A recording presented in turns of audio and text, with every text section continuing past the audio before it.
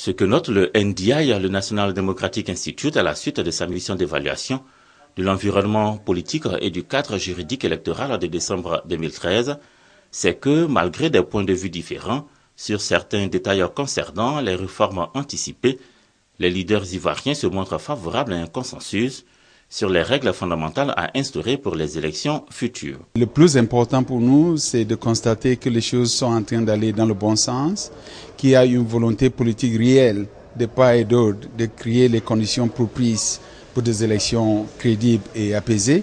Le rapport du NDI a été établi à la suite de rencontres avec les leaders des partis politiques de la coalition au pouvoir et de l'opposition, la commission électorale indépendante, des responsables des confessions religieuses et des leaders religieux, la société civile. La situation de la CEI, tout le monde est d'accord. Maintenant, comment on le fait?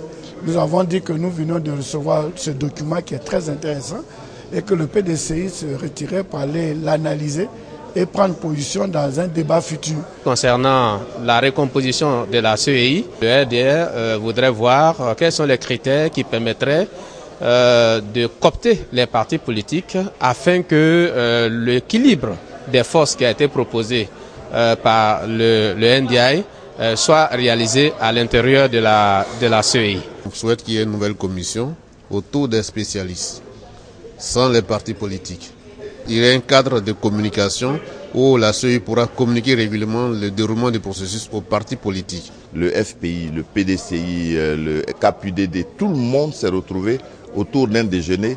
Nous avons commencé à parler et c'est une très bonne chose. Tout le monde nous regarde et nous devons euh, faire en sorte de ne pas euh, décevoir et nos concitoyens et le monde.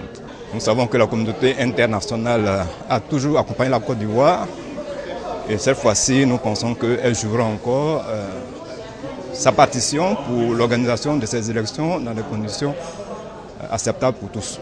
La présence du NDI en Côte d'Ivoire fait suite à une invitation du président de la République soucieux d'instaurer la confiance dans les processus électoraux et assurer ainsi un scrutin présidentiel apaisible et crédible en 2015.